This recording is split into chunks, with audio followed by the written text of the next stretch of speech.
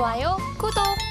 자, 이렇게 오전장을 좀 정리를 해보고요. 오후장 대비 함께 해보도록 하겠습니다. 인기주 종목 두 가지 꼽아주셨는데요. 먼저 첫 번째부터 만나보겠습니다. 어떤 종목일까요? 예, 엘컴텍입니다. 오늘 첫 번째 엘컴텍 꼽아주셨습니다. 오늘 오전장부터 시세가 엄청난 게 많이 나오고 있습니다. 대표적인 일단 금 관련 주고요. 예. 아무래도 요즘에 시장 매크로적인 측면으로 봤을 때 불확실적인 요소들이 굉장히 많잖아요. 그러다 예. 보니까 안전자산 선호 심리가 좀 높아진 게 아닐까라는 예. 생각이 좀 드는데요.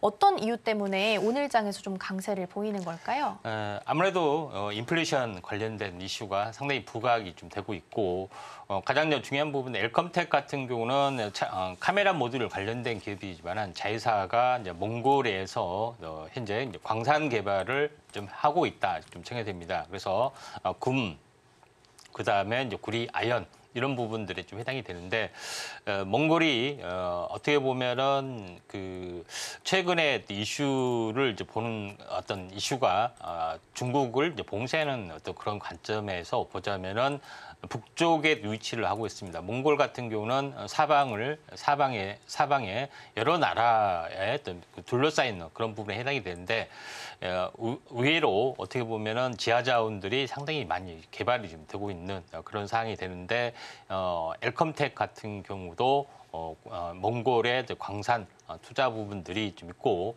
또 제일 중요한 것은 최근 이슈가 되고 있는 부분들 어, 최근 인- 인플레이션 화두 그다음에 전쟁에 대한 불확실성 뭐 이것 때문에 어, 상당 부분 어, 이슈가 좀 되고 있는데 그 중에서 어, 금 관련된 이슈를 어, 이슈가 좀 있, 다 이렇게 좀 생각됩니다. 물론 인플레이션이기 때문에 자원개발 쪽도 또 어느 정도 이슈가 좀 되고 있고요. 어, 그런 차원에서 오늘 이제 엘컴텍이 약간 올라주고 있다 이렇게 좀 생각이 되는데 차트를 보면서 약간 말씀을 들어보면은 어, 보통 이제 급등하기 전에 이제 차트의 요 어, 차트의 부분들이 예, 보통 이제 탄생 파동을 약간 보여주고 가는 경우가 상당히 많습니다. 그래서 이 부분들도 어, 급하게 이제 상승했다가 어, 조정을 보였다가 절반 정도 조정을 보였죠. 그리고 나서 어, 현재 급등을 좀 해주고 있는 어, 그런 상황이 좀 되, 고 있습니다. 다만 지금은 21% 정도 어, 진행이 되고 있기 때문에 에, 조정이 좀 있으면은 한번 관심 있게 좀 지켜보셔야 되고 어, 현재 이쪽 지금은 어, 현재 21%이기 때문에 상당히 부담스러운 관점에 좀 해당이 되죠. 그래서 보통 어, 어제 같은 경우도 어, 최근에 아, 그 현, 예, 현, 어, 어, 그 최근에 이제 그 지하자원 어떤 부분들이 이슈가 되고 있는데 어, 최근에 가- 관련된 천연가스나 석유 관련된 종목군들이 어제 급등했다가 오늘 이제 급나가는 어떤 부분들이 있는데 엘컴텍도 마찬가지 어, 언제든지 약간 조정이 있을, 있을 수가 있는데 조정이 만약에 이제 진행이 되면은 뭐 접근을 좀 하셔야 되지 않겠느냐 좀 생각이 돼서 어, 지금 엘컴텍 같은 경우는 지금 추경 매수보다는 어, 가격 조정 기간 조정이 좀 있으면은 한번 접근해 주시기 바랍니다. 바랍니다. 네, 오늘 첫 번째 인기주 종목으로 엘컴텍 살펴봤습니다. 계속해서 시세가 좀 나고 있고요. 오늘 장 초반보다 몸을 좀 높여가고 있습니다. 지금 기준으로 21.5%가량 상승하면서 움직이고 있는데요. 28 전쟁 여파로 계속해서 안전자산 선호 심리가 높아지고 있습니다. 금값만 보더라도 지금 2,000달러를 돌파하면서 고공행진하고 있다는 기사가 좀 연이어서 나오고 있으니까요. 조정이 나온다면 이 부분 체크하셔서 매수 타이밍 노려보시면 좋을 것 같습니다. 자, 그럼 이어서 두 번째 종목 도 만나보겠습니다. 어떤 종목일까요? 어, 두 번째 종목은 에코플라스틱입니다. 네, 에코플라스틱 오늘 두 번째 종목으로 꼽아주셨습니다.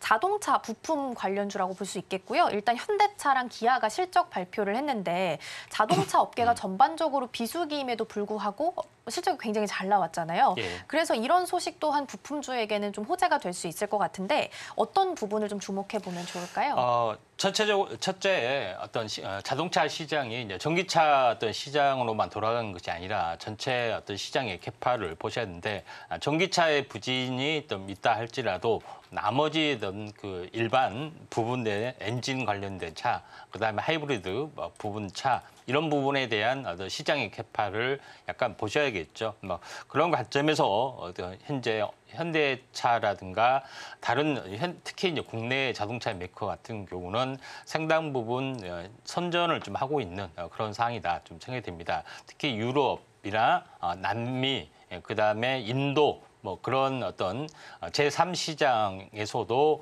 시장의 영역을 계속해서 넓혀가고 있는 어, 그런 상황이 되기 때문에 이런 부분인데 오늘 에코플라스틱이 강세를 보였던 부분들은 현재 CNT 나노 소재, 탄소 복합 소재의 차량 경량화 어, 관련된 예, 기술 개발 관련된 이슈가 부상이 좀 되고 있다 이렇게 좀 생각이 됩니다.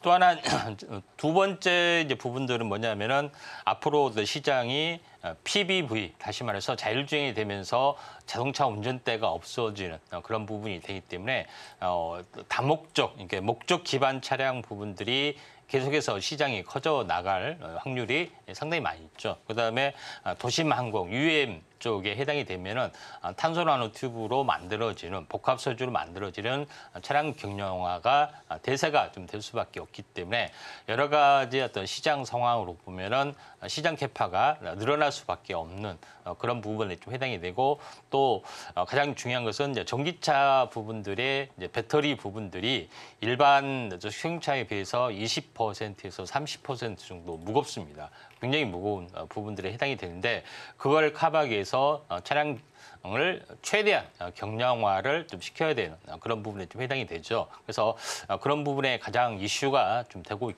있기 때문에 어, 오늘 다시 한번 이 이슈 때문에 또 부상이 좀 되고 있고 또 상대적으로 2차 전지에 비해서 상대적으로 어, 일반 그 전기차 부품이나 자동차 부품주가 약간 소외되는 그런 부분들이 좀 있습니다. 그래서 양극재 위주로만 굉장히 크게 또 급등을 했지 나머지 부분에 대해서는 굉장히 오히려 수급적인 차원에서 소외가 됐기 때문에 이런 업종들이 강세를 좀 현재 보이고 있다 이렇게 좀 생각이 됩니다. 그래서 오늘 에코플라스틱이 강세를 보이고 있는데 에코플라스틱하고 비슷하게 가는 종목 같은 경우에 이제 코롱 플라스틱도 있기 때문에 같이 동반해서 약간 보실 필요가 있습니다. 아, 차트를 보면서 약간 말씀을 들어보면은 어, 에코 플라스틱이 예, 전체적으로 어, 최근에 어, 어제 굉장히 크게 급등을 좀 해줬습니다. 그리고 나서 어, 운봉을 보였는데 오늘 다시 한번 다시 강세를 약간 보여주려고 하고 있습니다. 물론 장중에는 13%까지 갔다가 오늘 뭐 크게 차익 실현 매물이 나와서 약간 밀려주고 있지만은 어 지금은 약간 매물 소화 과정으로 보시면 됩니다. 이격 조정을 뭐 하루 이틀 보이다가 다시 한번 어, 출발이 좀 될 수 있기 때문에 지금 당장보다는 분할 매수 관점의 이격 조정을 고점에서 한 일주 정도 보이다가 다시 한번 어, 계단식으로 좀 튀어줄 수가 있기 때문에 지금은 기간 조정, 가격 조정을 보였습니다. 그래서 기간 조정이 좀 더 보여준다고 하면은 상당히 좋은 흐름이 나타날 수 있기 때문에 어, 자동차 부품주에 대해서도 약간 한 발짝 떨어진 부분에 대해서도 우리가 관심을 가져야 되지 않겠냐. 어차피 차량 경량화도 어, 전기차 부품주에 좀 해당이 되기 때문에 이 점 참고하시길 바랍니다. 네, 두 번째 인기주 종목 살펴봤습니다. 에코플라스틱이고요. 2차 전지에 비해서 이 셀 소재에 비해서는 이 부품 관련주들이 좀 소외를 받아온 경향이 좀 있습니다. 이런 부분을 좀 참고하시면 좋을 것 같고요. 특히 오늘 에코플라스틱 같은 경우에는 차량 경량화와 관련돼서 부품 개발에 성공했다라는 소식이 전해지게 되면서 강세 보이고 있으니까요. 장중 흐름까지 함께 보시면 좋을 것 같습니다. 이렇게 오전장을 좀 뜨겁게 달궜던 하상한가 종목 그리고 오후장을 대비할 인기주 종목까지 만나 만나봤는데요. 화면으로 다시 한번 정리해 보겠습니다.